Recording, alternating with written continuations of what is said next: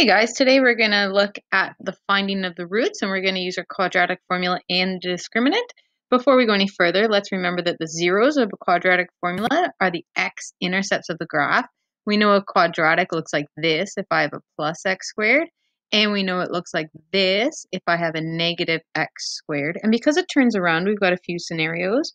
We've got when I've got two x-intercepts, so it might look like this We've got if we have one x-intercept, so that's if my vertex is on my x-axis.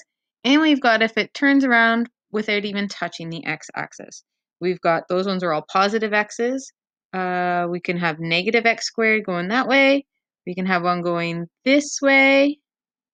And we can have it going that way. We've talked already this unit that the zeros are the x values that solve a quadratic equation, and today we're going to focus on it in standard form. So the method that we've used before uh, tells us our x-intercepts right away. So when we're factored, we know our x-intercepts are inside the brackets. Change the signs. So we got x equals 4 and x equals negative 2. So in this scenario, I had two zeros. My second one, I've got an x out here and I've got my x minus 5 on the inside. So on the outside, that gives me an x equals 0.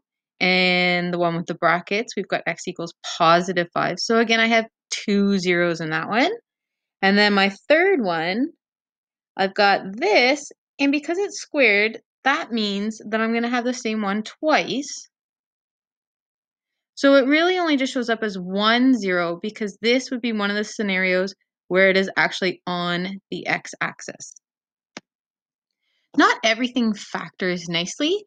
Um, sometimes we have to use a different trick, and sometimes all that's left to us is using what's called our quadratic formula. So we talked about this just before March break, and that's when I have ax squared plus bx plus c equals 0. Each of those numbers fits into my quadratic formula, so it's negative b plus or minus square root b squared minus 4ac all over 2a. A few very key important points here is that we must have it written in standard form, which is that way. All quadratic equations of this form can be solved using the quadratic formula, and we'll talk about the three different scenarios coming up when we talk about the discriminant. And it's derived by doing some completing the square stuff. But that's okay, we're not going to prove it, we're just going to use it. Sometimes we end up with a negative number under the square root. So that's when we have no real roots. And that's when there is no x-intercept. Okay, let's do an example. So first, let's look at this one and let's just use factoring. So remember with factoring, I need two numbers that multiply together to equal the last and that add together to equal the middle. So I need the same two numbers to satisfy both conditions. So in this scenario, I need two numbers that multiply to 12. And the same two numbers have to add to negative 8. Since I'm adding to negative 8, both my numbers are going to have to be negative. So what multiplies to 12? Well, we've got 1 and 12. We've got 2 and 6. Oh, that'll work. So I've got negative 2 and negative 6 will be my numbers. Once we have our numbers, then we just put them into our answer. So we know, let's see, uh, we've got x squared minus 8x plus 12 equals 0. So when we factored, remember we have it looking like this. And then at the ends of each bracket is where we put the numbers we just found. So we came up with minus 2 and minus 6. Finish it off.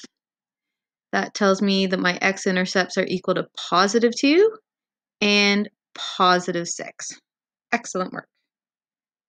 All right, well, what about with this big old quadratic formula? Let's see.